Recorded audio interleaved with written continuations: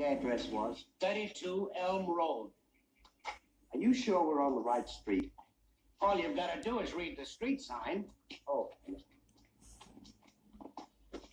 What does it say? I can't read it. I haven't got my glasses. Here, hold this. I'll climb up now. Never mind. I'll climb up. You couldn't read it if you got up there. Glasses or no glasses. Give me a lift.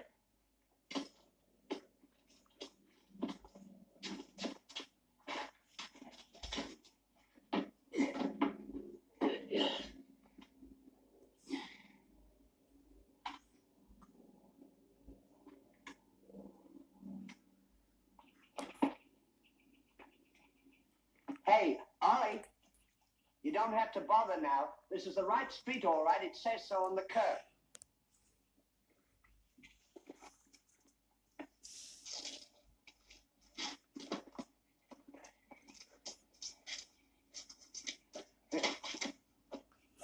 What happened? We won't go into that.